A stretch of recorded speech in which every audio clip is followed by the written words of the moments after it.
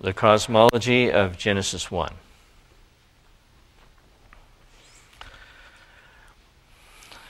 We've been going through the Genesis account of origins, uh, the Genesis creation account and its reverberations in the Old Testament, and he spoke, and it was divine creation in the Old Testament. Uh, the first being a scholarly, and the second a popular presentation of the relationship of the rest of the Old Testament to Genesis. And uh, we've actually been through most of it. Um, we're coming back now to the first two chapters, which I think make a little more sense uh, once we have uh, the context of the Old Testament itself. Um, there's the covers of the two books. Um, we're going to be dealing with chapter 1, which is entitled The Unique Cosmology of Genesis 1 Against Ancient Near Eastern and Egyptian Parallels. And it was uh, originally written by Gerhard Hasel, and it has been updated by his son Michael Hasel, who's a Southern Adventist University in Collegedale. Um, the uh, introduction starts out. The opening chapters of the Bible, Genesis 1 through 11, contain the history of beginnings, focusing on natural and historical beginnings, and the ensuing history of the world and humankind. Nowhere else in Scripture do we again find such a comprehensive and detailed narration of the origin of earth of the earth and humanity. For what it's worth, uh, note one notes that this was originally published in Signs of the Times some years ago, uh, but of course uh, has been expanded and updated since. Uh, while this is important in itself, it takes on greater significance when we recognize that the Genesis cosmology and the Genesis creation account come to us without rival.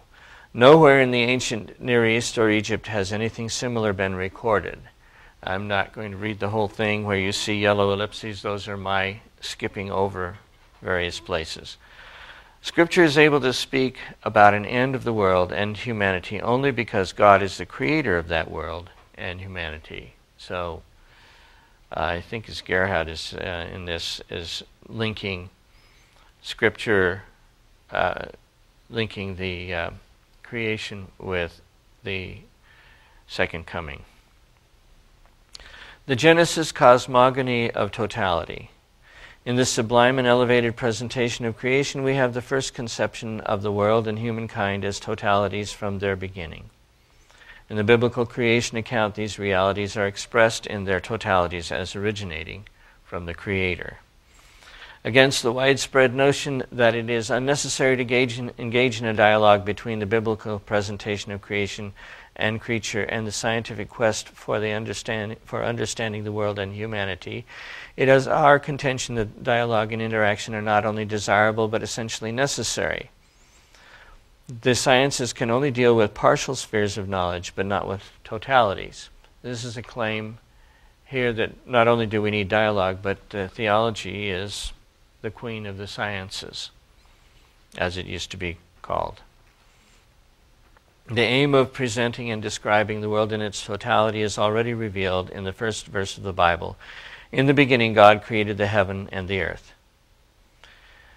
This compact sentence makes four basic affirmations that are completely new in humankind's quest for an understanding of the world's origin and of themselves, and was new at the time, although I would make the case that was actually old. It is the first.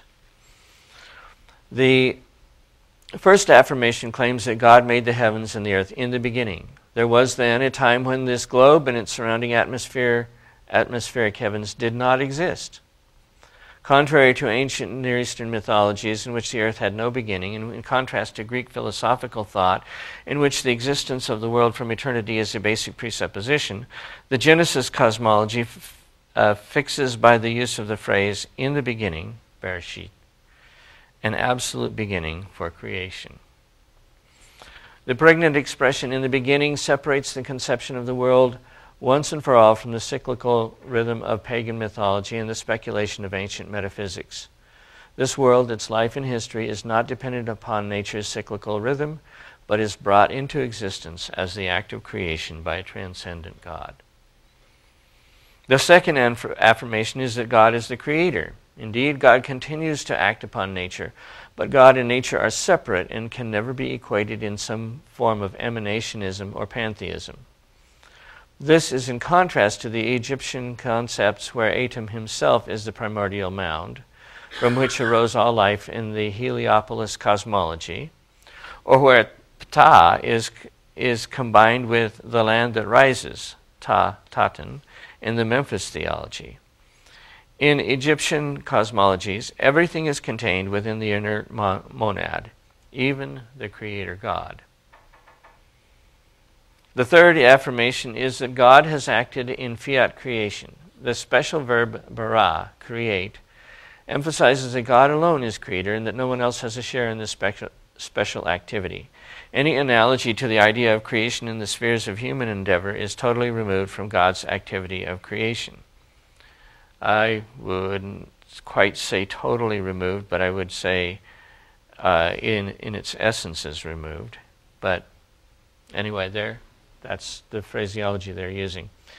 Inasmuch as this verb is never employed with the accusative term matter, that is, stuff from which God creates, this bara alone contains, with the emphasis of the phrase in the beginning, the idea of creation out of nothing, creatio ex nihilo.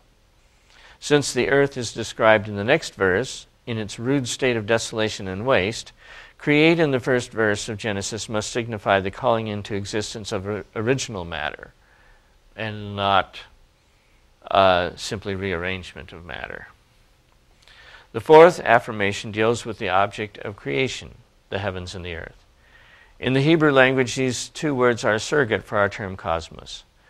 A thorough investigation of the 41 uses of the uh, usages of the compound terms heaven and earth revealed that these words do not mean that God created the entire universe with its thousands of galaxies at the time he created the world. The focus remains on the planet Earth and its more or less immediate surroundings. The sublime ideas pre- expressed in this verse verse of the Bible set the tone for the entire Genesis cosmology. Modern interpretations of biblical cosmology. It is widely believed that the biblical cosmology, and that's that of Genesis, is mythological and maintains the ancient picture of a three storied universe with the heaven above, a flat earth, and the netherworld underneath. If this understanding is coupled with the assumption that the Bible supports a geocentric universe, then it seems hopelessly dated. On the basis of these views, many modern scholars have become convinced that the biblical cosmology is historically conditioned, reflect, reflecting a primitive and outdated cosmology of the ancient world. Therefore, many say the biblical cosmology should be abandoned and replaced by a modern, more appropriate scientific one. New Testament scholar Rudolf Bultmann wrote some decades ago that in the New Testament, the world is viewed as a three storied structure with the earth in the center, the heaven above, and the underworld beneath, made up of hell, the place of torment. Visual representations of the cosmology of the Old Testament, in the view of other writers, literally depict a similar picture of a three storied universe with physical storehouses of water, snow, chambers of wind, and windows. This is depicted in a vaulted canopy of the heavens above a flat earth, at the center of which is a navel with waters under the earth and rivers in the netherworld. Such a mythological cosmology is now out of date, wrote Bultmann, and so he inaugurated the famous program of demythologization. Modern people cannot believe in such a mythological cosmology while simultaneously flying in jets, browsing the internet, and using smartphones. At least that's the claim. In modern thinking, this leaves open only two alternatives. Either one, accept the assumed mythological picture of the world at the price of intellectual sacrifice. Or two, abandon the biblical cosmology and adopt whatever happens to be the latest scientific theory. We believe that these alternatives, which cut to the root of humanity's understanding of God, are false. Do we find on close scrutiny any evidence anywhere in the Bible for a three storied universe? Does the Bible support the notion of a geocentric universe? If anything, the Bible is centered on the relationship between God and humans. In the Old Testament, God is the center of everything, but not at the physical center. The Bible does not support the idea of a physical center. According to the Bible, the solar system could be geocentric, heliocentric, or something else. Where has the interpretation arisen that the Bible presents a geocentric picture? This arose in post New Testament times when the leading theologians adopted the Ptolemaic cosmology of the second century AD and interpreted the Bible on the basis of this non biblical cosmology.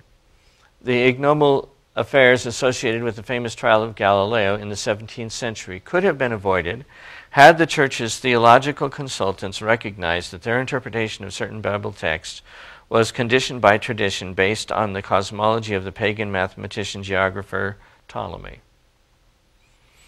Although we are freed today from the Ptolemaic cosmology, a vast number of biblical scholars still re- read the cosmology of the Bible through the glasses of the pagan cosmologies of the ancient Near East and Egypt. What is so widely claimed to be the meaning of the text related to the bi- biblical cosmology is in actuality nothing but a dubious interpretation based upon a highly problematic hermeneutic. Moreover, the claim that cosmology of the Bible is mythological is of fairly recent origin. The biblical concept of cosmology.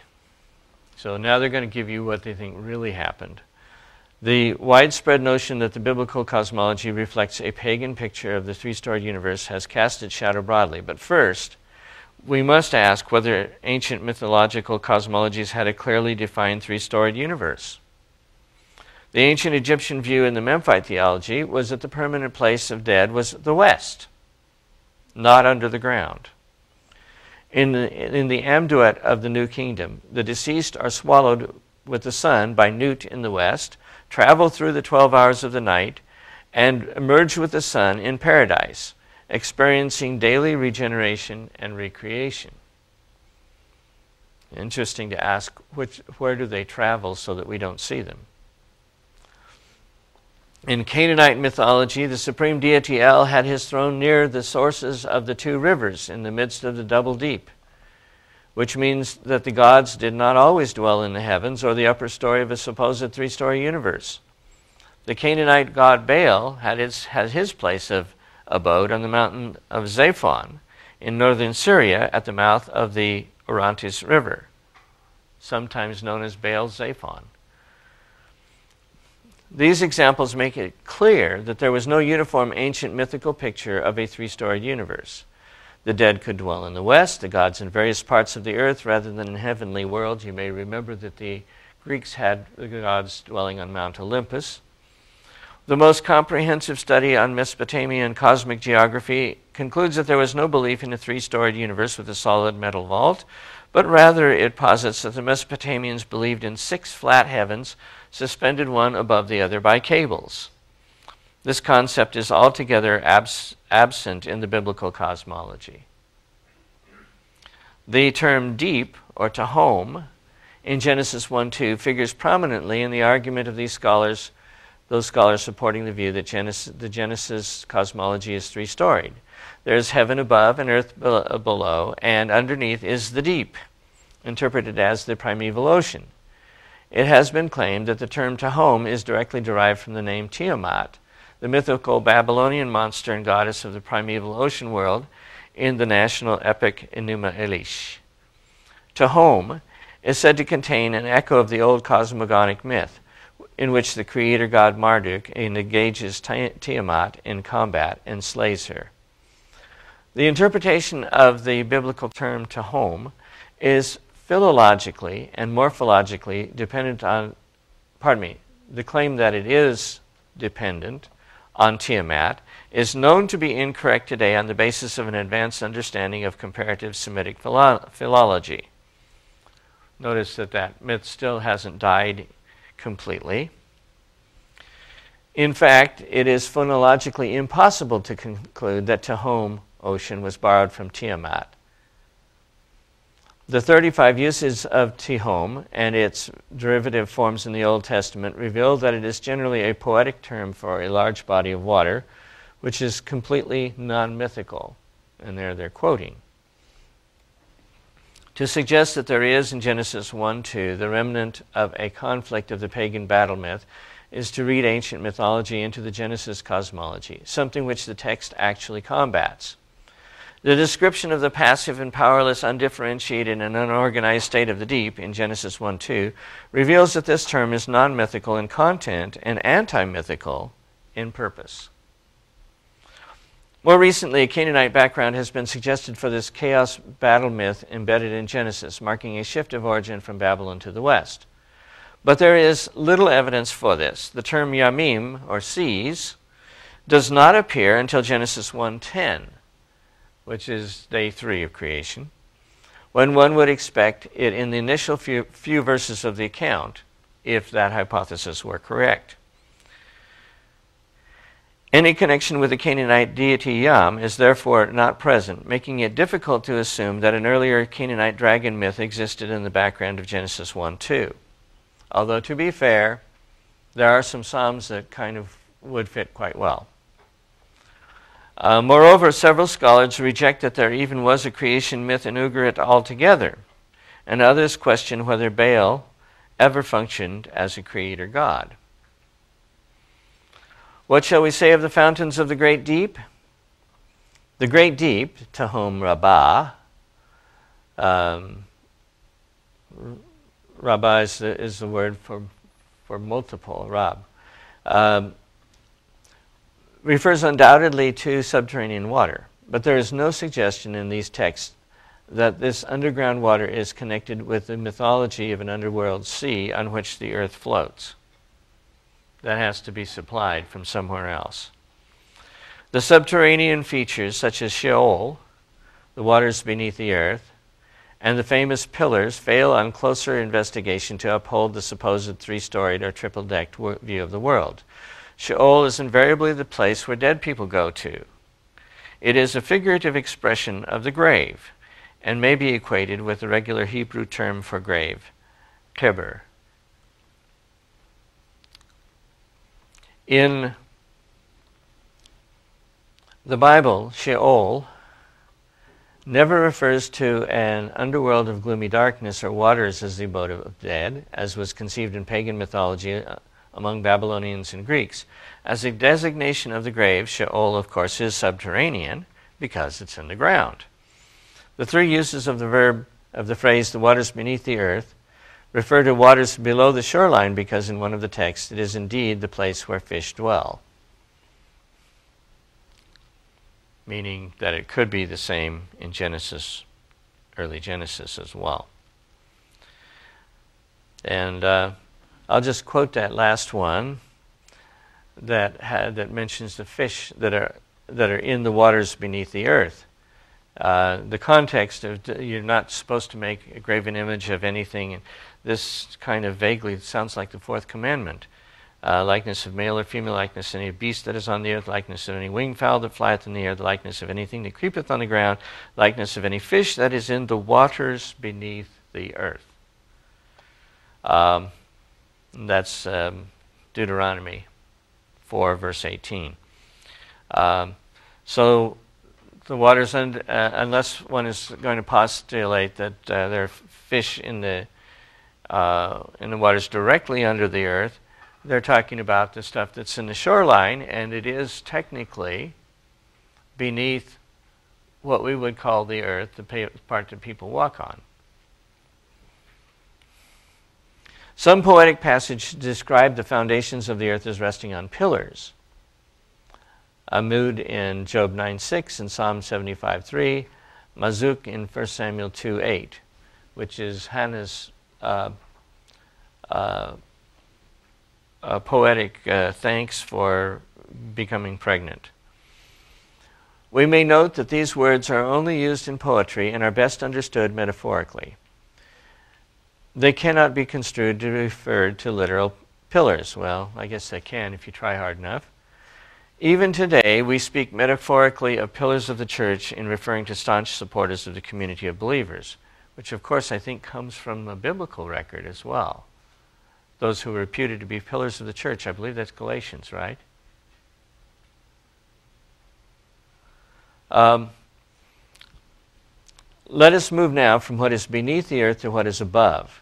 The act of fiat creation on the second day calls into existence the firmament, rakia, which we'll be discussing next week, in Genesis 1 7. The firmament is frequently associated with firmness and solidity, ideas derived from the Vulgate firmamentum and the Septuagint stereoma. Um, I guess it's stereoma but not from the original term in the Hebrew. The firmament is widely thought to be a, a vaulted solid body.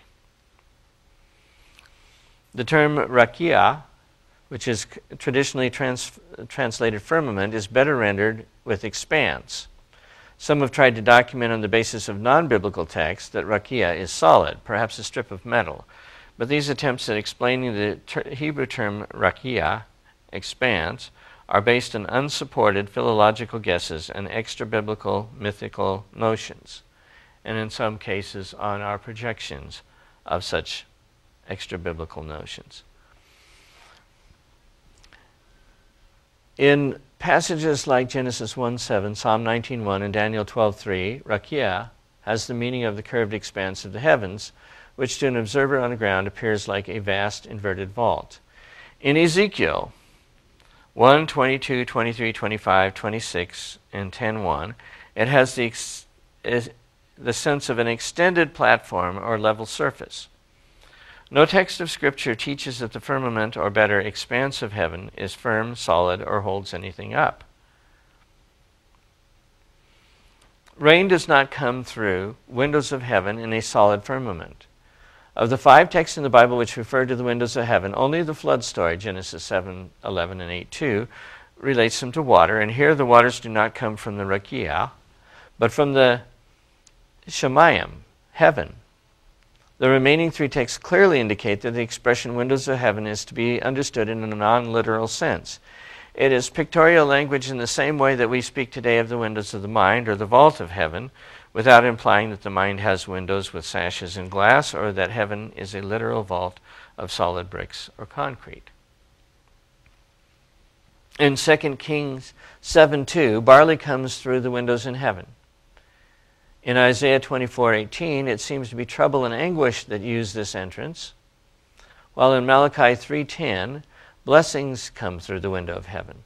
Such figurative language does not lend itself to the reconstruction of biblical cosmology.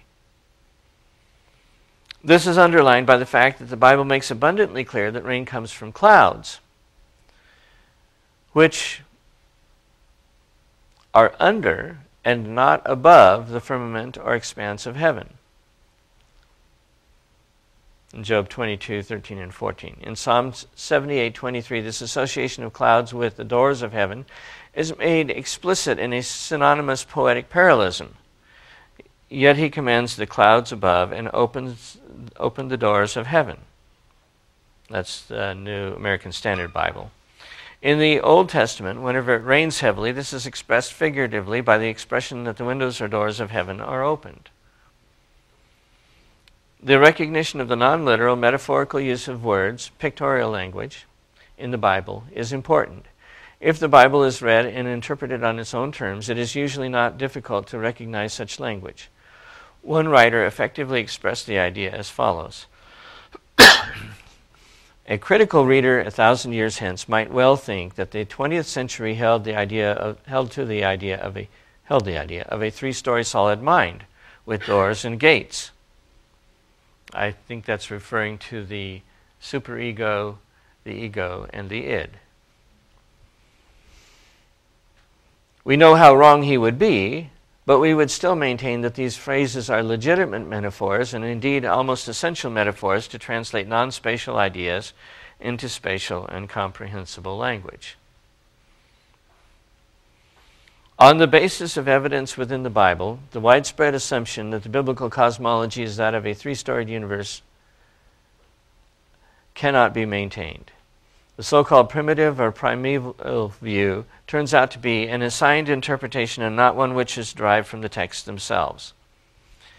Even when there is proximity in time and place between terms in the Bible and non biblical text, it does not necessarily imply that every ancient writer, whether inspired or not, intended the same or even a similar meaning. Other aspects of contrast and polemic in the Genesis creation account, and I'm skipping a paragraph of introduction sea monsters or sea creatures. As part of the divine creative act on the fifth day, Genesis 1:20 through 23, God created quote great whales or great sea monsters, as more recent translations render the Hebrew term taninim. In Ugaritic texts, the cognate term TNN, tanin, if you prefer, um, appears as a personal, uh, personified monster, a dragon who is overcome by the goddess Anath, the creator god. I should probably clarify that's a tau noon noon, not a TNN technically. Um, it is, is it justified to think of the biblical term to mythology, to link the biblical term to mythology as an expression of mythological influence? The term taninim in Genesis 1:21 appears in a clearly non-mythological context. On the basis of other creation passages in the Bible, it appears to be a generic designation for large water creatures, in contrast to smaller water creatures created next in verse 1, uh, chapter 1, verse 21, and see Psalms 20, uh, 104, 25, and 26. God's totally effortless creation of these large aquatic creatures, as expressed through the verb create, bara, which always emphasizes effortless creation, exhibits a deliberate polemic against the mythical na- idea of creation by battle and con- uh, combat, which is what you see in the Enuma Elish, where Marduk has to fight Tiamat. The lack of combat force or struggle. The red thread of opposition to pagan mythological notions is also visible in the fiat creation by raising the firmament or expanse without any struggle whatsoever. Ancient Near Eastern and Egyptian mythologies link this act of separation to combat and struggle. Creation by word of mouth. In the biblical creation story, a most striking feature is creation by the spoken word.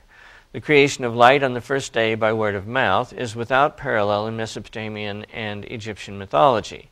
In Enuma Elish, Marduk does not create the cosmos by utterance, but by gruesomely splitting Tiamat.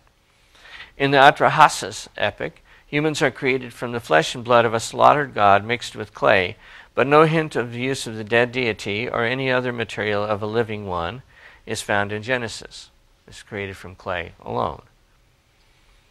A number of scholars have claimed that creation by word of mouth is best paralleled by, in Egyptian cosmologies. However, there are several different traditions that developed over time with, with significant variations. In the Heliopolis cosmology or theogony, Atum generates the Ennead, nine gods, from himself by the act of masturbation or spitting, and the two siblings were born, Shu and Tefnut. In the coffin texts, Atum is equated with the sun in the name Re Atum. Sometimes the two are separated as Re in your rising, Atum in your setting. In this sense, Atum, often expanded pardon me, often equated with the sun god Re, is self developing and is the originator of the gods and of all things. In, in the Memphite theology of Egypt, Ptah is compared and contrasted with Atum. Whereas Atum created by the seed, that seed in those hands, for Atum's Ennead evolved through his seed and his fingers, but the Ennead is teeth and lips in this mouth that pronounce the identity of everything, and from which Shu and Tefnut, that's male and female, emerged and gave birth to the Ennead. Here the writer achieves his goal of merging the two accounts. So this is harmonizing theology, if you like by saying that the origin of Ennead through the teeth and lips of Ptah is the same as the origin through the semen and hands of Atum. The mouth is thus equated with the penis, from which Shu and Tefnut emerged and gave birth to the Ennead. It was through self development that Atum or Ptah created the gods. That the teeth and lips here are to be compared to the effortless speech followed in the Genesis creation ignores the parallelism, parallelism made with Atum. That is, you couldn't, you can't harmonize those two without taking the one account further away from Genesis. Others suggest that the speech of Ptah is best described by mantic magic utterances in the Memphite theology of Egypt. Say the magic words and things happen. Whereas God seems to just simply say whatever he wants and without complications, and it happens. In contrast, there is no hint at self generation or procreation in the Genesis account. The recurring expression, God said, and there, or it was, speaks of the effortless, omnipotent, and unchangeable divine word of creation. Descriptive polemic. In various crucial instances, the Genesis cosmology exhibits a start, sharply anti mythical polemic in its description of created material. To this impressive list should be added the description of the creation and function of the luminaries whose names sun and moon were surely avoided precisely because these terms were used at the same time in, ancient, in the ancient Near East and Egypt as named for astral deities. The use of greater light and lesser light breathes a strongly anti mythical pathos or polemic. The creation of humanity. The magnificent creation narrative of Genesis 1 26 to 28 speaks of humankind as the pinnacle of creation. The term bara is em- employed three times in these verses to emphasize God's fiat creation of humanity. The human being appears as a cre- creature uniquely blessed by God to be ruler of the world, including the ruler of the animal and vegetable kingdoms. All seed bearing plants and fruit are for humankind's food. This lofty picture of the divine concern and care for humanity's physical needs stands in such co- sharp contrast to the purpose of humanity's creation in Sumero Akkadian mythology, where it's for the service of the gods. The Sumero Akkadian myths unanimously depict human creation as an afterthought, resulting from an attempt to relieve the gods of hard labor and procuring food and drink. This mythical notion is contradicted by the biblical idea that humankind is to rule the world as God's vice regent, and by the way, not to offer him food until after the fall. Obviously, this anti mythical emphasis cannot be the result of adopted pagan mythical notions. Rather, it is rooted in biblical anthropology and the biblical understanding of reality. In Egyptian cosmologies, so far, no detailed account of the creation of man is known. The primary focus of Egyptian cosmologies is the creation of the Egyptian pantheon. Thus, they are better described as theogonies, although the gods themselves represent the natural elements.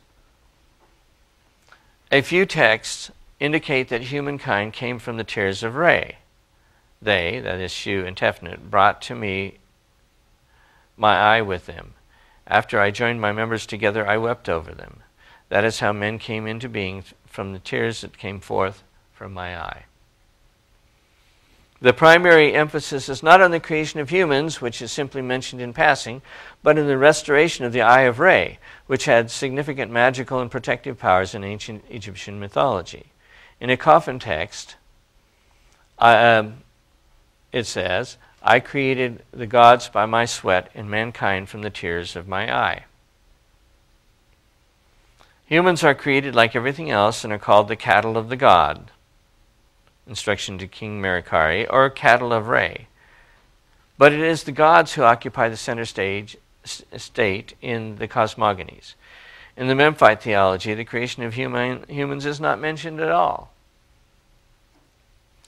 The seven day week in the order of creation. The complete sequence of creation in Genesis 1 demonstrates a sublime order where there was once formless void that is formed into a complete ecosystem that will support life. The divine sequence of six literal 24 hour consecutive and contiguous days culminating the Sabbath rest is entirely absent in ancient Near Eastern and Egyptian accounts. A comparison with Enuma Elish indicates some analogies in the order of creation firmament, dry land, luminaries, and lastly, humans. But distinct differences are also apparent there is no explicit statement that light is created before the luminaries in the myths. There's no explicit reference to the creation of the sun. Perhaps Marduk didn't want to be didn't want people to know how he was created. To infer this from Marduk's character as a solar deity and from what is said about the creation of the moon in Tablet 5 is too precarious. There is no description of the creation of vegetation, which occupies a whole day in, or half a day at least, in Genesis 1. Finally, Enuma Elish knows nothing of the creation of any animal life in the sea, sky, or earth, which of course occupies two days, or most of two days. Um, a comparison between Genesis and this account indicates that twice as many processes of creation are outlined in Genesis 1. Only a general analogy between the order of creation in both accounts can be posited. There is no close parallel in the sequence of the creation of elements common to both cosmogonies. Concerning the time for creation, the only possible hint is uh, provided in the Atrahasis account of the creation of humankind. Here, 14 pieces of clay are mixed with the blood of the slain god and placed in the womb goddess. After 10 months of gestation, and if you're wondering about that, remember these are lunar months, so yeah, you could have 10 months. Um, the goddess gives birth to seven male and seven female offspring. The birth of humankind after a 10 month gestation is not found in Genesis. Adam and Eve are created on the sixth day. Boom. The link of the Sabbath to a Near Eastern background has also been futile. In Egyptian cosmologies, there is no finality of creation. Rather, there is a one day pattern of recurrent creation brought about each morning with the sunrise, symbolizing the daily rebirth of Re Amun, the sun god creator, as embodiment of Atum. The cycle of death and rebirth is so intrinsic to Egyptian uh, ideology that death itself is seen as part of the normal order of creation, which, of course, is not true uh, for the biblical record. On a funerary papyrus of the 21st dynasty, a winged serpent is standing on two pairs of legs with the caption, Death, uh, the great God who made gods and men. This is a personification of death as a creator God and an impressive visual idea that death is a necessary feature of the world of creation, that is, of the existence in general.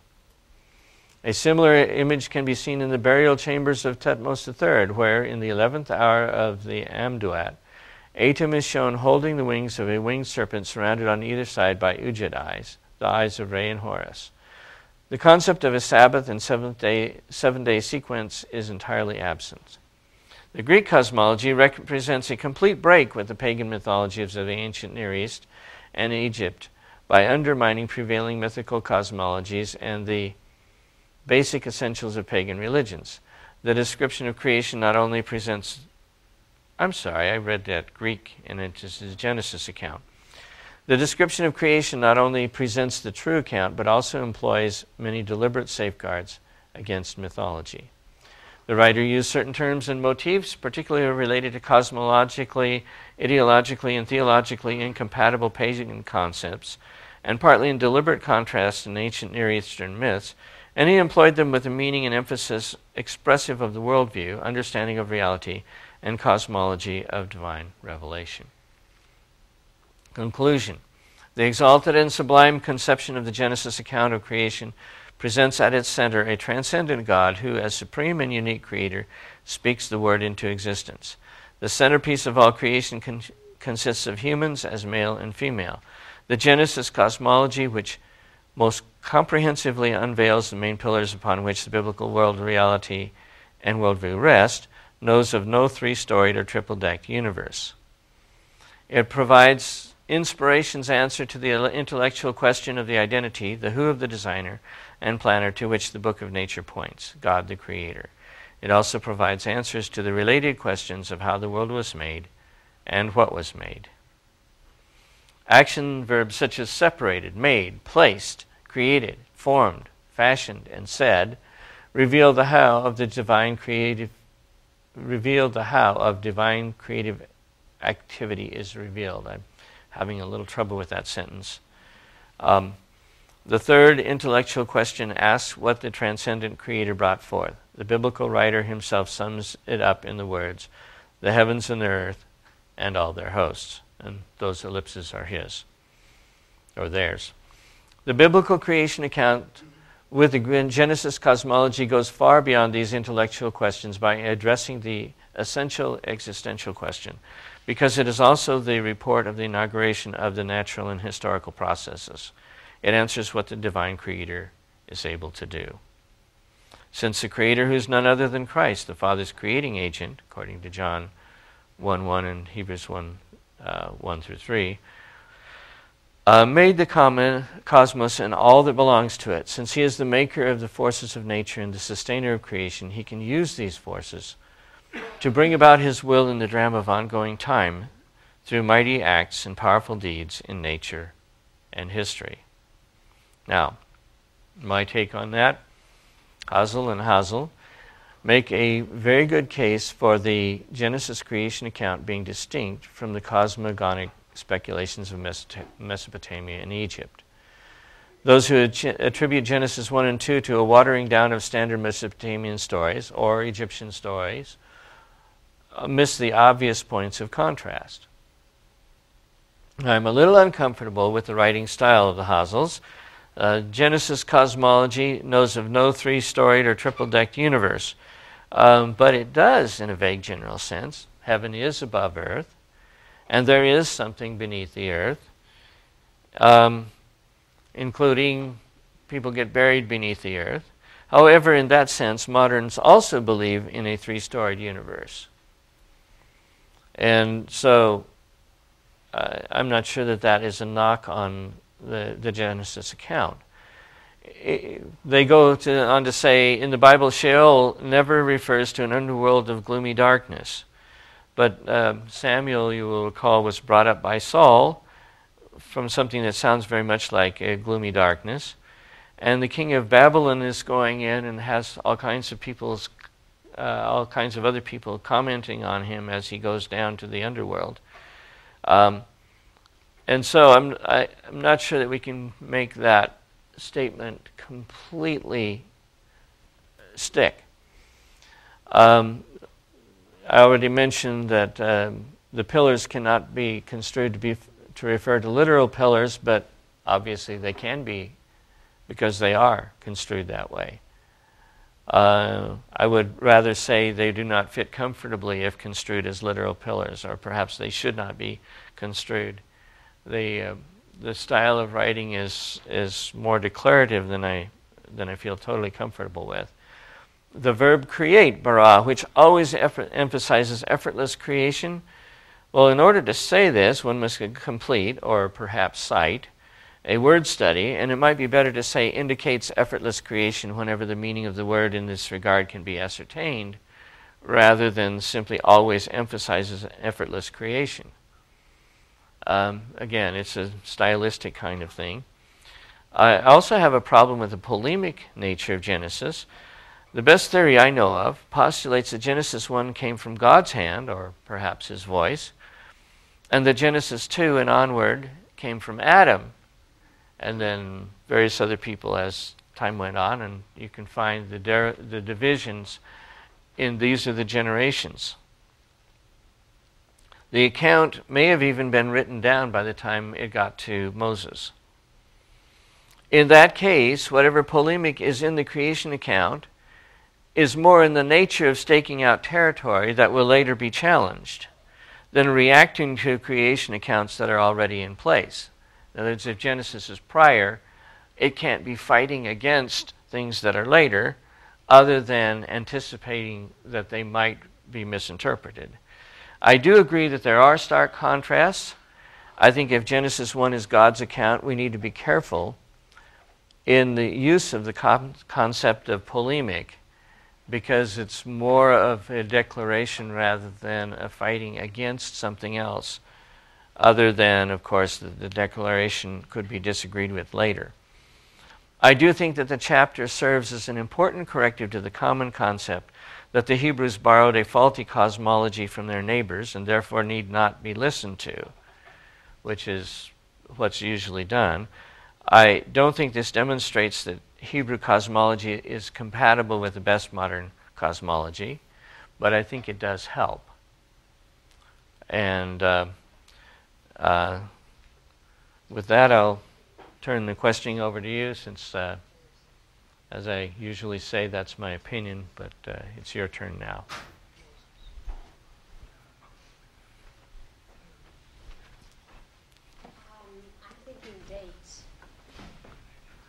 It'll come on.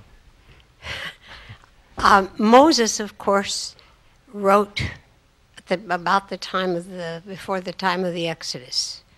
Correct. 14, 15, 1400 Right. BC.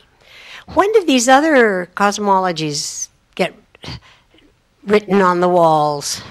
Well, now you're getting into a rather interesting area of controversy.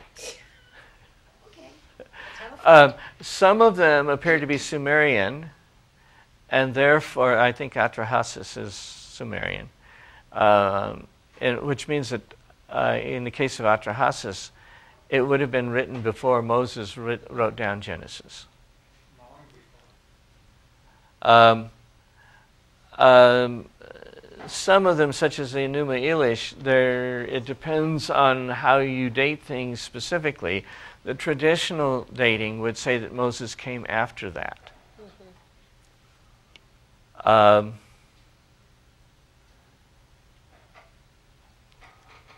the the question is the, the question that I raise is whether the Wiseman theory might be correct, that the that Moses was actually written writing down from written records.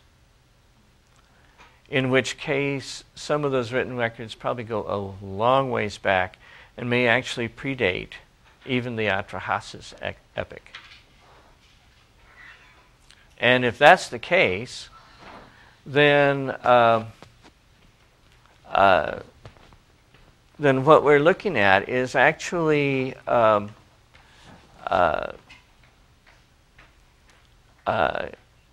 a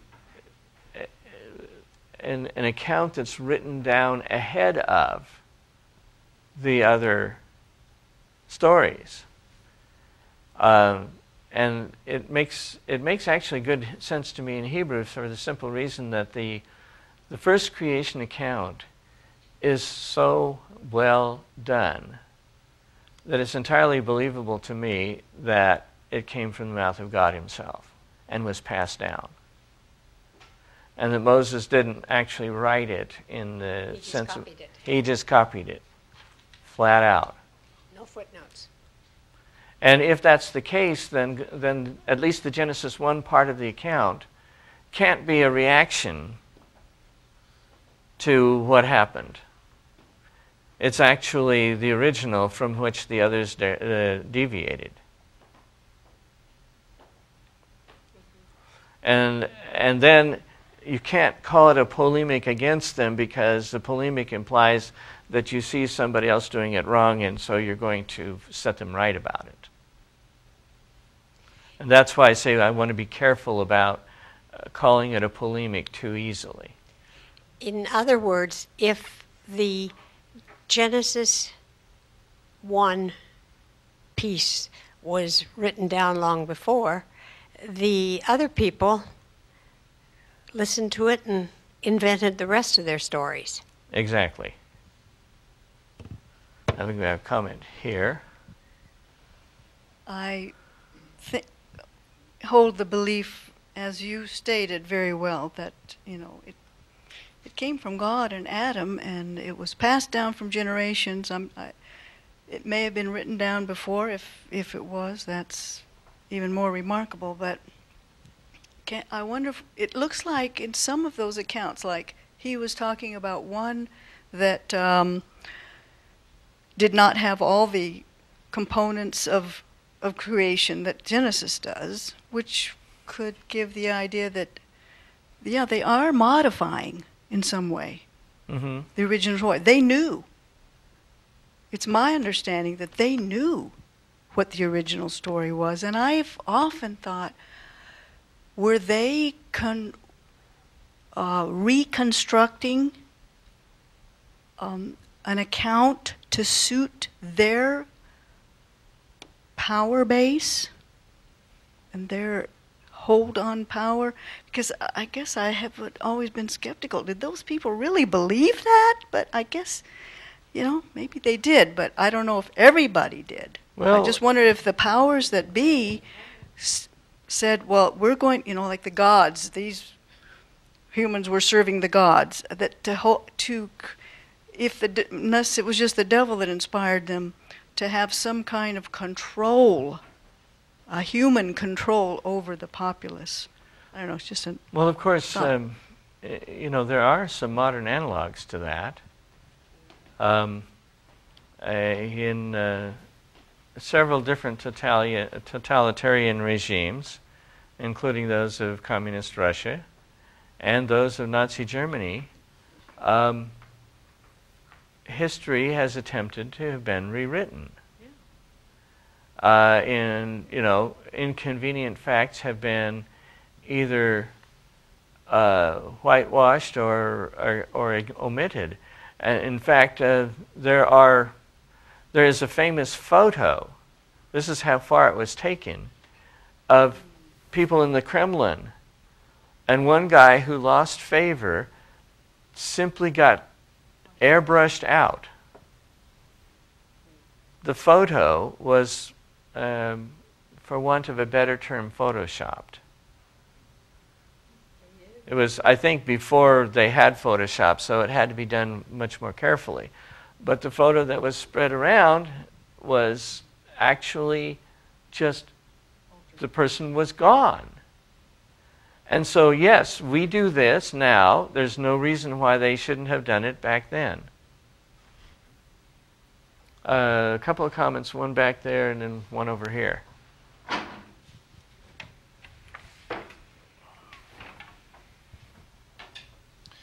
Well, I'm wondering if if maybe the um, the variety of um, polytheistic pantheons was maybe created as a um, you know an ethnic thing where it's sort of like well we need to we need to have our, our own story with our own gods to show how great we are basically and so they sort of have to get creative and start thinking of new gods that uh, do their own thing well, I think that there's a certain amount of that that's recognized in the literature. Um, it is no accident that the story that is told at Babylon has the Babylonian guard Marduk as its hero. And in fact, you could look at it from their point of view. Marduk must be that powerful. After all, his city is that powerful. I mean, that's proof, isn't it? So could it, could these uh, creations of these different uh, stories, might it be sort of a form of anti-Semitism? Well, that's kind of a um, a weighted term, but certainly certainly anti um, anti true worship of Godism, if you want to put it that way. Um, but I, am not sure they were looking at Abraham and thinking he's a Jew and therefore we want to do it differently, or right. Moses, or or the people before Abraham. Yeah, but certainly, certainly the people who believed in one God who created the heavens and the earth, and interestingly, the Chinese texts seem to indicate that that was true in China at one point. Um, there's some interesting work done by Ethel Nelson on that that that kind of strongly suggests that the original Chinese were were believers in a God whom most of us would not find that difficult to identify with the creator of, of Genesis 1. Um, and, and the person who that the, the, flood story figures in on that too. Um, and, and in fact, what's, what's interesting is that there are, there are legends from Europe that have the same kind of feel to them, identifying somebody that is not that hard to identify with Japheth as the originator of the stories. So I suspect that that although God had his you know special care for Abraham and his descendants, that it's not just Abraham, that it's actually kind of more of a true worship versus false worship, and the true worship died out in some areas and in some areas kept going.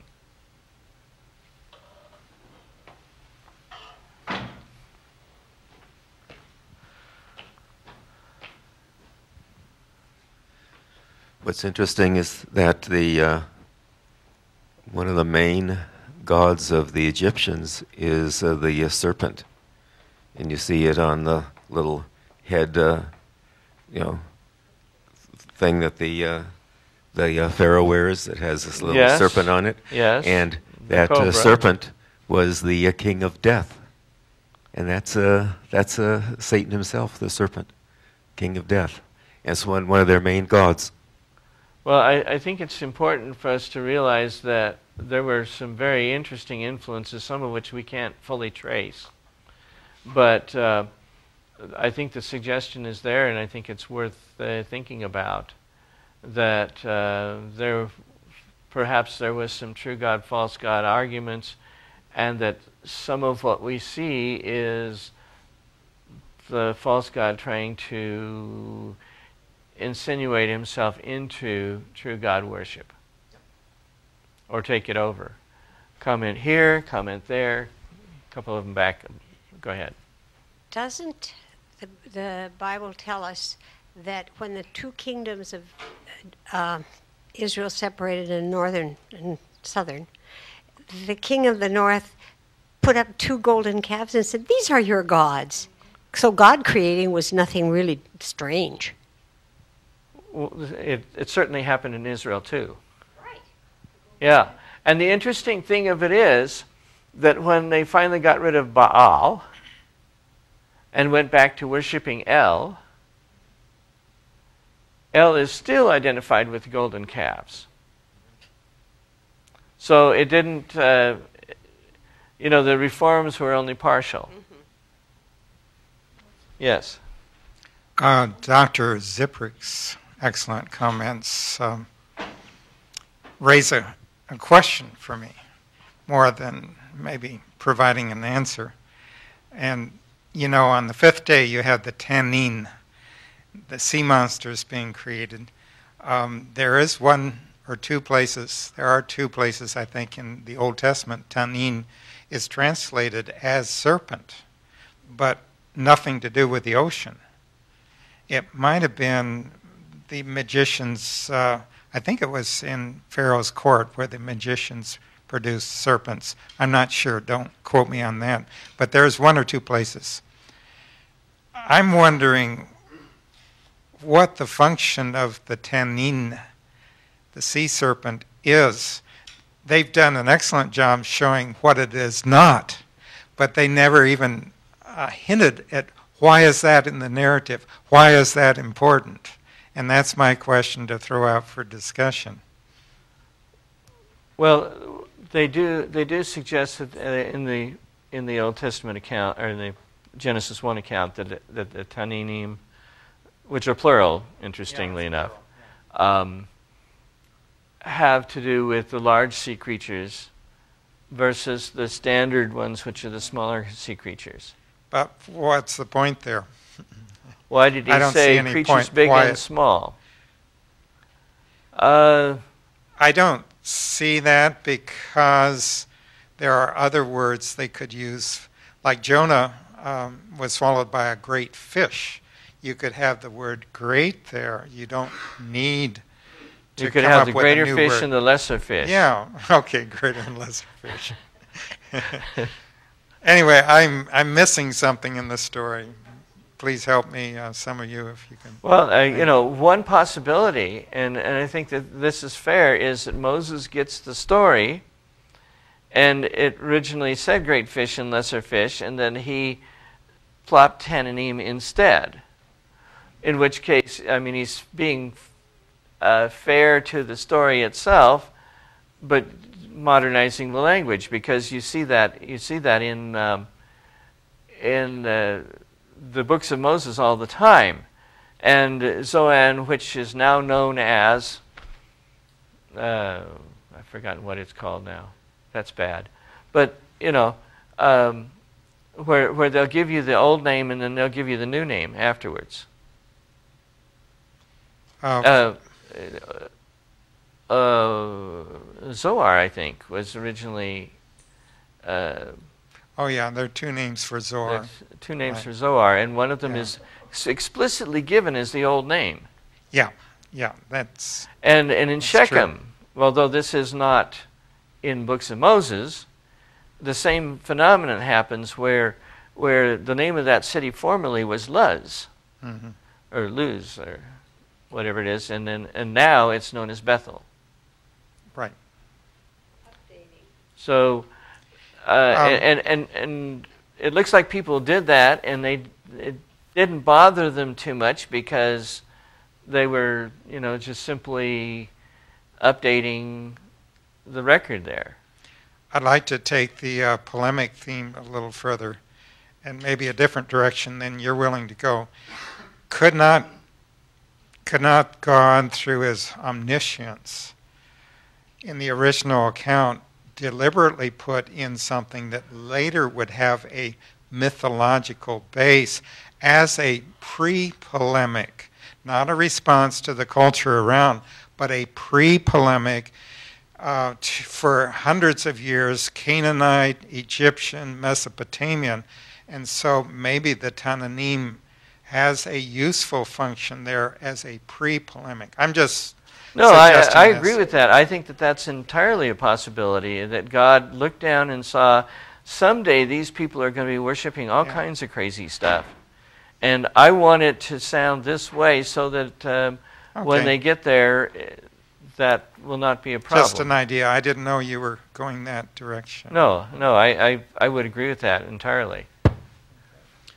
It's probably simplistic to say that oral understandings were later absolved into, into languages, but Babylonian cuneiform, Egyptian hieroglyphics seem to have come on the scene four or five thousand years BC. Hebrew is a Semitic language. If you can understand Hebrew, you can probably understand uh, Arabic and various things. I'm a little vague on where Hebrew came from. Well, uh, maybe we can um, we can be a little more specific on that. Actually, Sumerian is more or less unrelated to Akkadian. They're almost as different as night and day. I mean, in terms of language structure and stuff. But Akkadian is actually very similar to Hebrew. It's known as West Semitic. Or, pardon me, Hebrew is known as West Semitic, and Akkadian is known as East Semitic. And so, um, Akkadian, both in its Babylonian form and in its Assyrian form, which are the two forms that kind of come down to us, are are actually Semitic languages very similar to Hebrew. Um, not quite as similar as Aramaic is, but but you can tell they're in the same family. Couldn't you have gotten then some concepts from the Semitic language into Hebrew? Well, raises an interesting question: was uh, were, were, were the tablets that might have been the originals, or at least some of the originals, um, could they have been written down originally in Akkadian, and what you have is a translation, or a well, you know, it would be like translating from, say, Portuguese to Spanish. I mean, they're not that different. You'd have to learn the language, but it would be, you know, close. Maybe I can shed a little light on that. Um, my father, Dr. Alger Johns, taught at Andrews, and he did his uh, doctoral dissertation on the Akkadian language, taking some Babylonian tablets. I wish I had the storehouse of knowledge that he had. But um, he did an interesting article that no one ever looks at, but it was published in Andrews University Seminary Studies when it first came out in the early 1960s. Is it on the internet now? Yeah, I think, isn't it? It's all on the internet yeah. now. Okay. Yeah. So so you can look, look it up. Alger Johns. Anyway, um, he the title of the article is did did David use a um, Akkadian or a um, cuneiform type of system for his court records? Now I'm paraphrasing. Um, he has evidence from the book of books of Samuel and maybe even early Kings that they were following uh, Akkadian stylistic methods for the way they organize history, some of the expressions, and so on. Commentaries haven't picked up on this, but you practically have to be a really almost a world expert in Akkadian to be able to see that uh, there is a definite Akkadian influence by the time of the kings. Well, and the kings themselves, when they when they say, uh, you know, when they get done with a king and saying what they want to say about him, they say, well, the rest of the deeds of so and so are they not written in the chronicles, Chronicles. of the kings of Israel or chronicles of the kings of Judah? Yeah.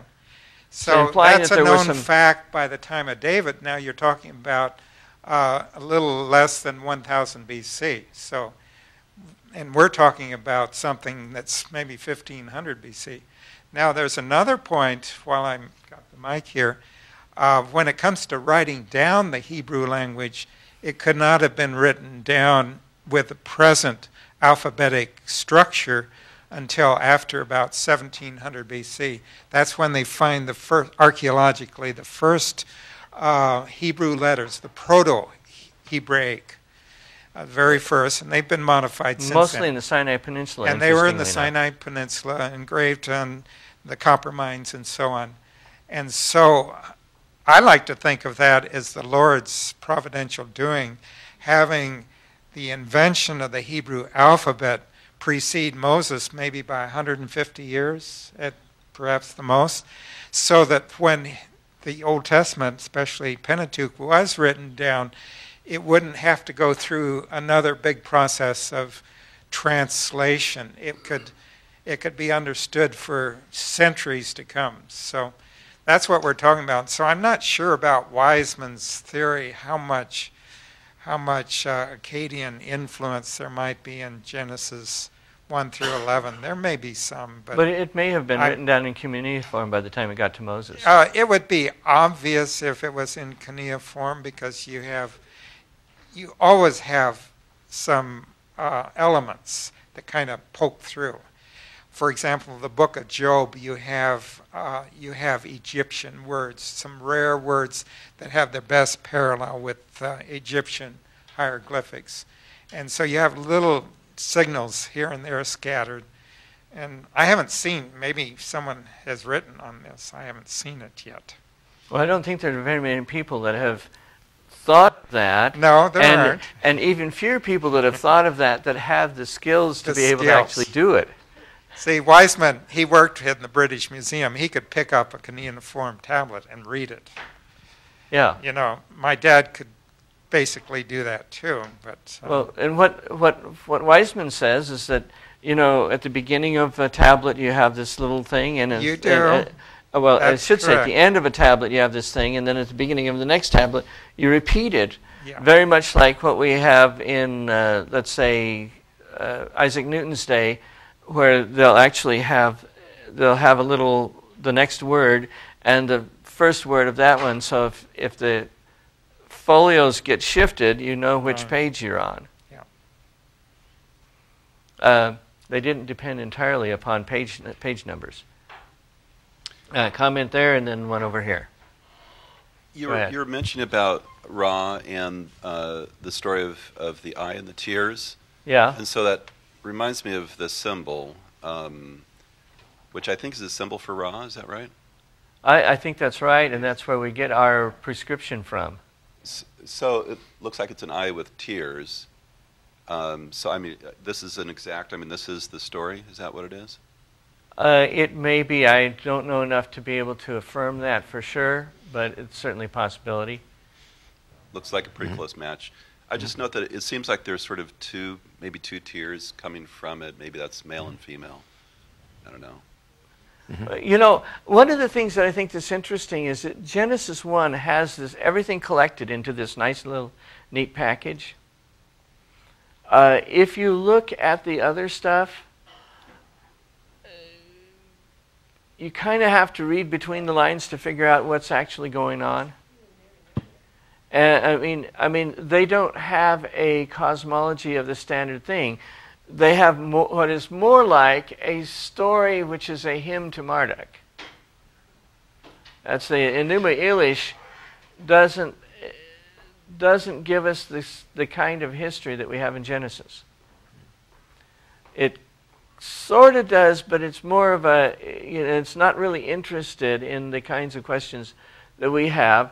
And, you know, one of the things that I was uh, looking at is that uh, the, the experts in the field will tell you that, that they didn't have it thought all the way through, and that they didn't, uh, they didn't always ask the questions that we would.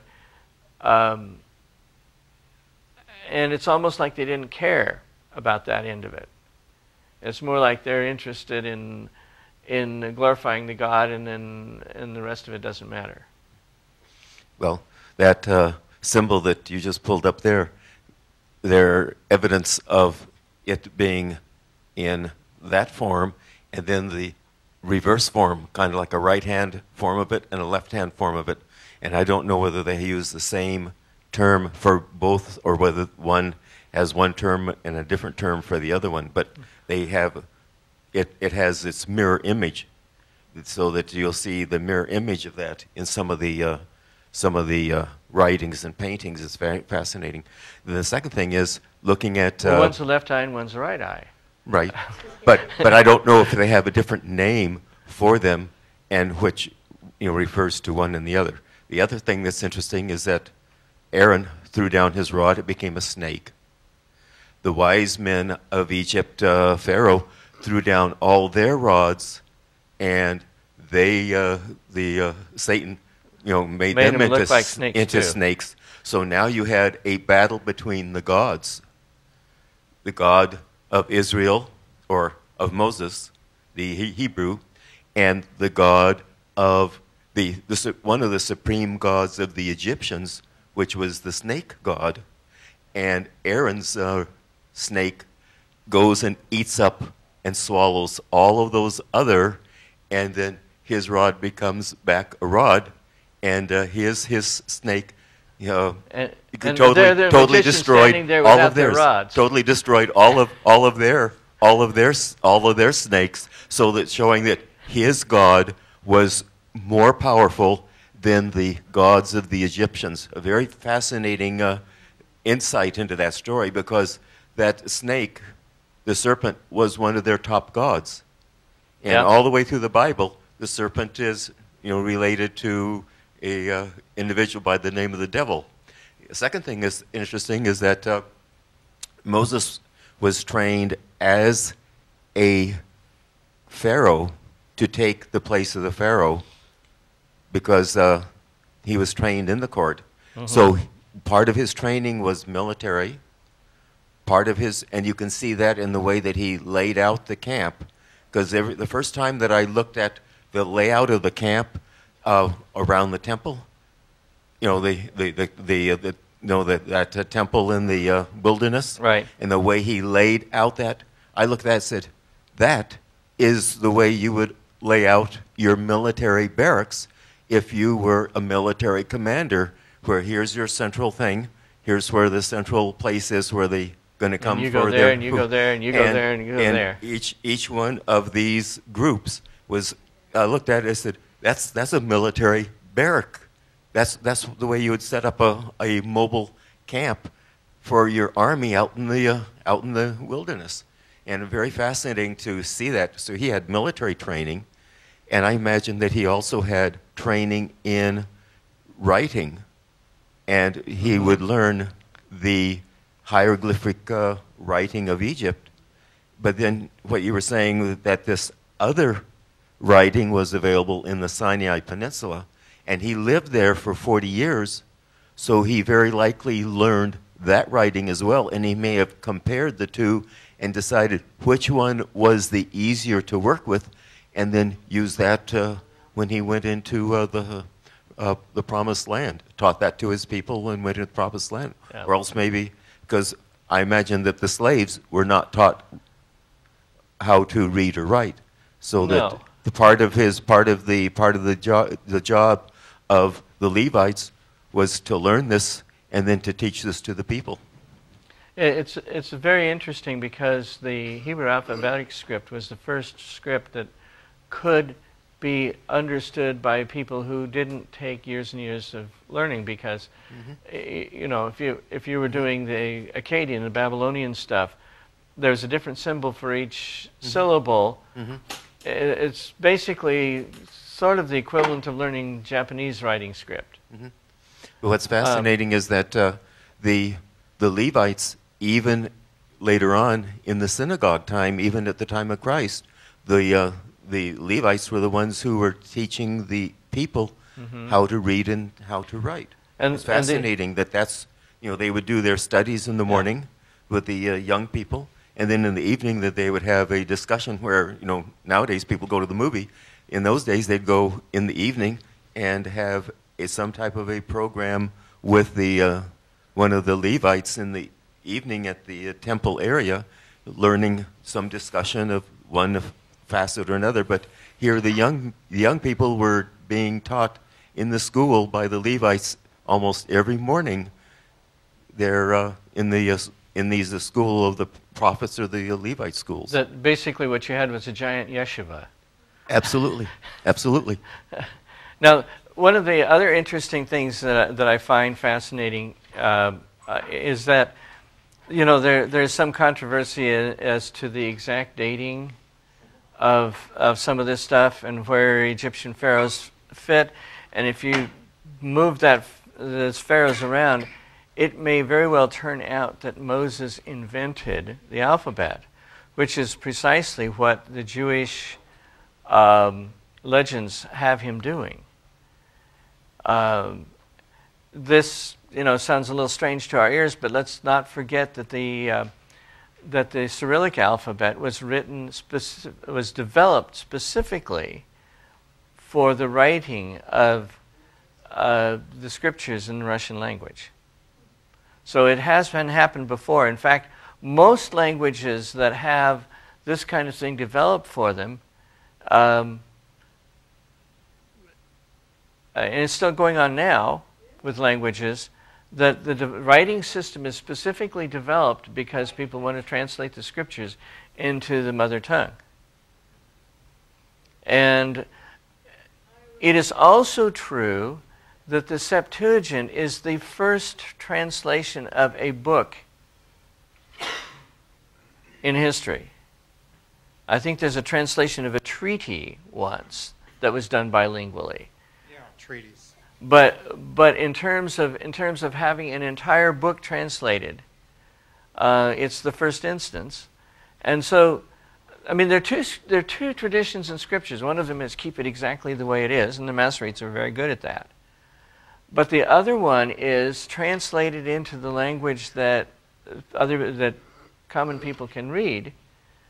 And I think that that um, you know it's true for Greek. It's true for uh, you know the the Latin uh, got uh, scriptures got translated into Latin multiple times, and um, and finally with the the Vulgate, which kind of took over all the rest, um, and then uh, it's been translated, like I say, into Russian specifically with a brand new alphabet for it.